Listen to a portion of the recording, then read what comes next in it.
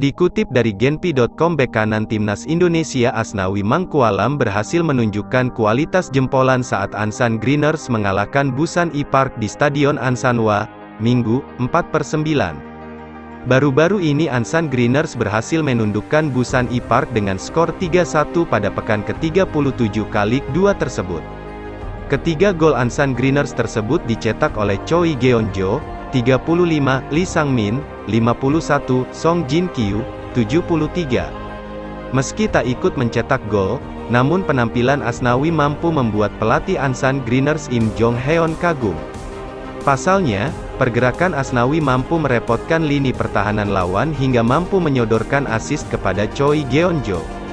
Melihat penampilan Asnawi, Im Jong Heon langsung mengungkapkan kekagumannya dan rasa terima kasihnya.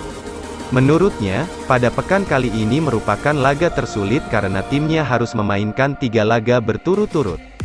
Itu adalah situasi yang sulit dan sulit, karena saya, dalam seminggu, memainkan tiga pertandingan berturut-turut, ujar Im Jong Heon dikutip dari Best Eleven, Selasa, 6 per 9.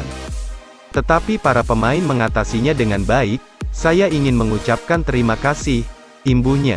Selain memberikan assist, Asnawi juga tampil dengan baik. Pada menit ke-12, dirinya berhasil menembus dinding lawan hingga terpaksa dilanggar pemain Busan E-Park. Asnawi sendiri sudah mencatatkan dua assist dan dua gol untuk Ansan Greeners di Kalik 2 tahun 2022 sampai tahun 2023.